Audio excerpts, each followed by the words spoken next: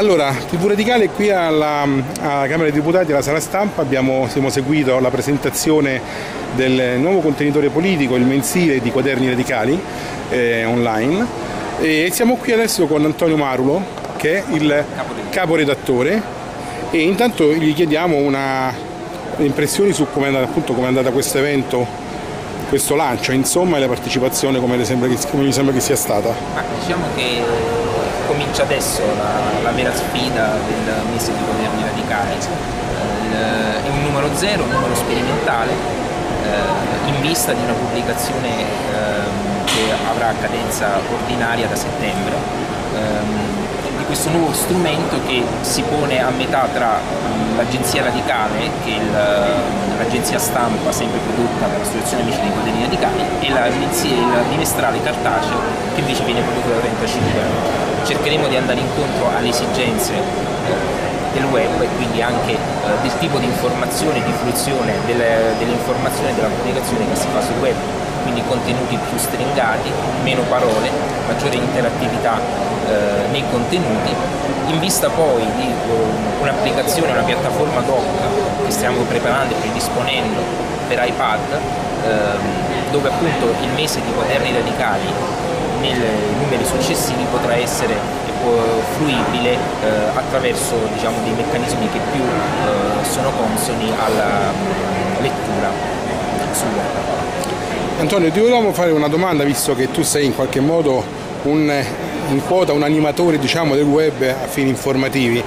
Eh,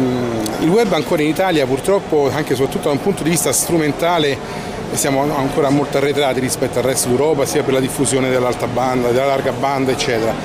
Però anche per quanto riguarda l'informazione politica il web diciamo più che i giornali web ancora insomma siamo a una fase anche lì iniziale, probabilmente anche i partiti ancora non hanno un controllo trasversale, noi sappiamo con le varie lobby sui giornali, la carta stampata, ecco,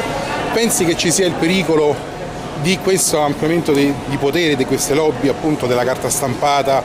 conosciamo benissimo senza fare nomi anche sul web? Beh, questo senza dubbio già accade in parte, perché comunque eh, le informazioni, le grandi testate giornalistiche sono in prima linea sul web, che sono quelle anche più seguite. Tra, tra l'altro se si scorrono le immagini, le prime pagine dei quotidiani eh, tra Repubblica, Corriere della Sera, La Stampa, si vede che spesso le notizie più seguite paradossalmente sono quelle che servono a fare contatti anche a livello molto basso eh, le donnine nude per carità ecco nessuno vuole fare i moralisti ben vengono forse però comunque eh, in giornali autorevoli eh, come il Corriere della Sera magari ci si aspetterebbe un altro tipo di informazione come accade magari sulla BBC o, o sul New York Times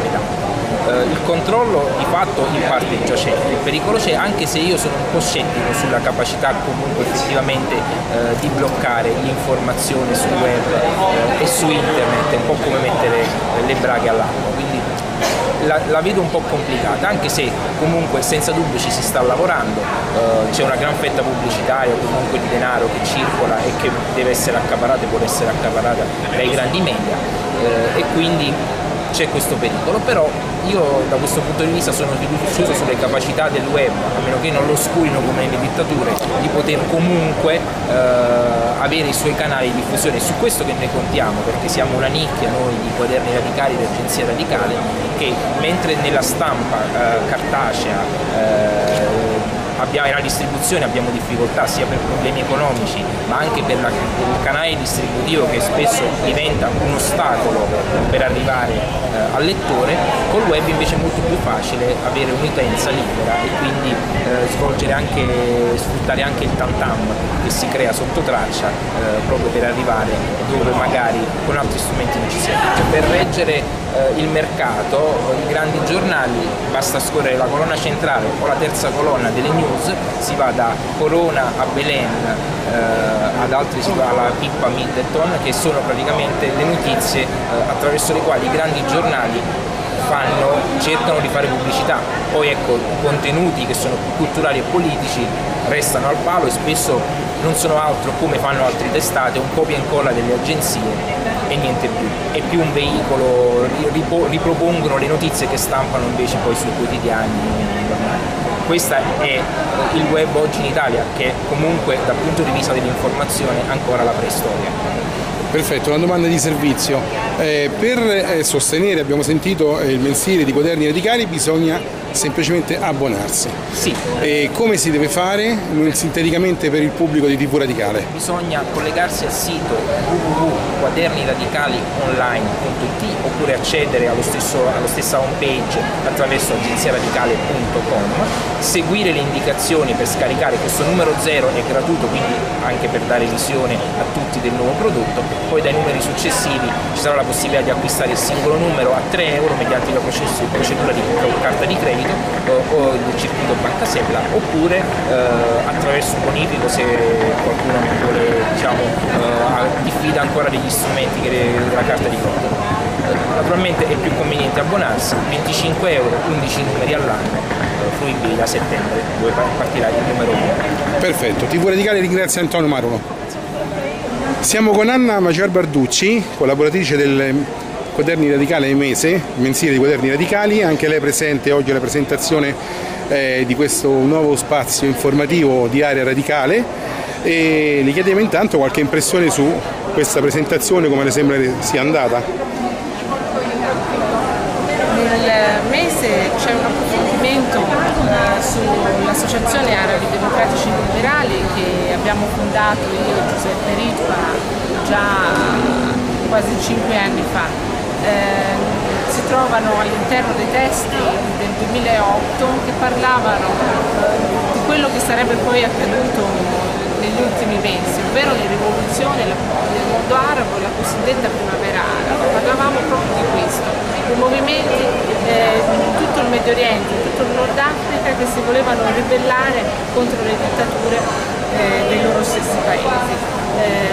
tre anni fa nessuno ci credeva, nessuno eh, ci prendevano in giro, oggigiorno invece vengono a cercarci dicendo avevate ragione. C'era un malessere, eh, era prevedibile che la, la situazione in, eh, in Tunisia forse non si sapeva che proprio in quel momento sarebbe poteva aspettare una rivoluzione, ma le persone erano stanche. E così come in Egitto eh, le persone erano stanche della dittatura che non davano loro diritti né tantomeno la possibilità, eh, i diritti fondamentali, quelli di essere curati in un ospedale, quindi eh, molti mi dicevano preferisco morire fuori dall'ospedale che entrare in questo ospedale perché non so come mi cureranno, non so se eh, potrò permettermi eh, di, essere curato. La strada sarà lunga, non, eh, ancora non si sa quale sarà la fine, come andrà a finire. Eh, però sicuramente l'Occidente non, non, può abbandonare in questo momento. Eh, la primavera araba, invece sembra che lo abbia già fatto, basta guardare quello che sta accadendo in Siria, l'Occidente sembra essersi scordato, perché anche lì i siriani